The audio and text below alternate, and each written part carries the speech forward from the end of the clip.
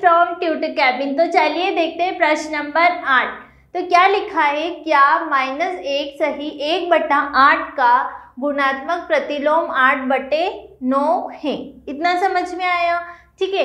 क्यों अथवा क्यों नहीं? मतलब हमें बोला गया है कि जो हमारा एक सही आठ बट एक बटे आठ जो है, उसका गुणात्मक प्रतिलोम मतलब जब उसका व्युत्क्रम करेंगे तो उसका व्युत्क्रम क्या होगा? आठ बटे नौ है। तो वही पूछा गया है कि क्यों है और यदि नहीं है तो क्यों नहीं है? है ना? यदि प्रतिलोम है तो क्यों है और यदि ये प्रतिलोम नहीं है तो क्यों नहीं है? तो चलिए देखते हैं। अब मुझे बताइए कि गुणात्मक प्रतिलोम क्या होता है? जैसे यदि मेरे पास ए है ठीक है? मेरे पास ए बट्टा वन है तो इसका व्युतक्रम क्या होगा? गुणात्मक प्रतिलोम क्या होगा? एक बटे ए एक बटे में ए यही गुणात्मक प्रतिलोम होगा। तो हमारे गुणात्मक प्रतिलोम की कंडीशन क्या है? कि ए है यदि हमारे पास, यदि हम उसका गुणात्मक प्रतिलोम करते हैं मतलब व्युतक्रम करते हैं तो क्या होगा?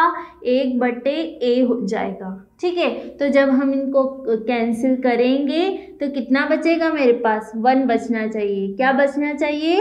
वन तो जब हम गुणात्मक प्रतिलोम करेंगे तो हमारा उत्तर जो है वन के बराबर आना चाहिए। ये कंडीशन होती है कि हम, जब हम, जैसे मेरे पास ए मैंने अभी ए लिया है ए की आप कोई वैल्यू ले लीजिए। ठीक है? ए ले लिया। मैं उसका गुणात्मक प्रतिलोम कर रही हूँ। गुणात्मक प्रतिलोम ऐसे ही होता है। ये उल्टा हो जाता है तो ये वन बटे एक हो गया।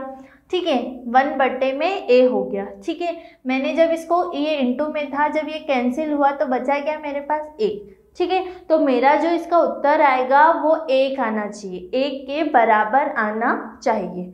ठीक है तो चलिए देखते क्वेश्चन को। जैसे लिखा है, माइनस एक बटे में नहीं।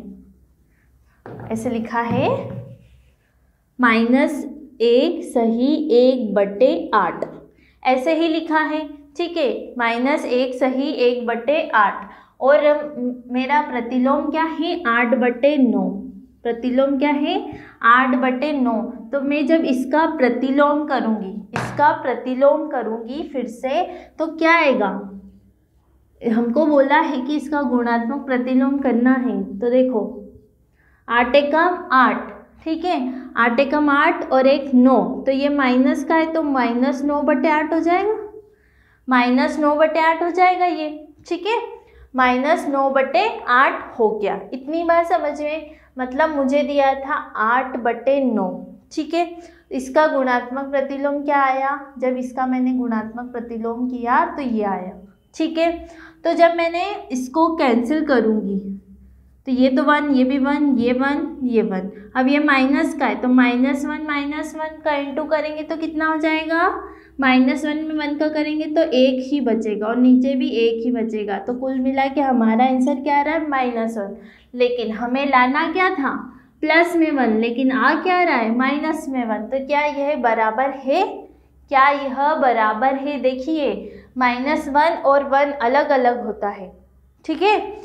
तो ये गुणात्मक प्रतिलोम नहीं है। ये गुणात्मक प्रतिलोम नहीं है। यदि एक आ जाता तो वो गुणात्मक प्रतिलोम होता, लेकिन अभी हमारा आंसर क्या है? गुणात्मक प्रतिलोम नहीं है। समझ में आया? ठीक है? देखो, एक बार और समझते हैं क्या है क्वेश्चन में। क्या माइनस एक सही एक बटे आठ का गुणात्मक प्रतिलोम आठ बटे नौ है? ये पूछा गया हमसे। हमें निकालना पड़ेगा। ठीक है? तो क्यों? यदि है तो क्यों है और क्यों? यदि नहीं है तो क्यों नहीं है? वो भी बताना है साथ में रीज़न तो देखो यदि ए रहता तो उसका गुणात्मक प्रतिलोम क्या था? एक बट्टे, वन बट्टे में ए ठीक है? यदि ए है, उसका गुणात्मक प्रतिलोम करूँगी मैं तो वो एक के बराबर आना चाहिए। ये कंडीशन होती, एक के बराबर आना चाहिए, ठीक है? अब देखो, जब मैंने इसका गुणात्मक प्रतिलोम किया, ये आठ बटे नौ तो था मेरा, तब मैं इसका गुणात्मक प्रतिलोम करूँगी तो क्या ये आ रहा है सेम देखो, आठ एकम आठ आठ और एक नौ नौ बटे आठ, ठीक है? माइनस था तो मैंने माइनस लगा दिया। अब बीच में मल्टीप्लाई है तो क्रॉस मल्टीप्लाई होके कट जाएगा ये क्रॉस में कट जाएगा ये। तो एक एकम एक एक एकम एक, अब ये होके माइनस एक। तो क्या यह क्या यह एक के बराबर आ रहा है? नहीं आ रहा है। यहाँ पे माइनस वन आ रहा है, यहाँ पे वन आ रहा है। तो ये गुणात्मक प्रतिलोम नहीं है। समझ में आया आपको? बहुत सिंपल था सिंपल सा क्वेश्चन है। समझ में आया आप लोगों को? ठीक है? तो ये था हमारा प्रश्न नंबर आठ। तो मिलते प्रश्न नंबर नौ में।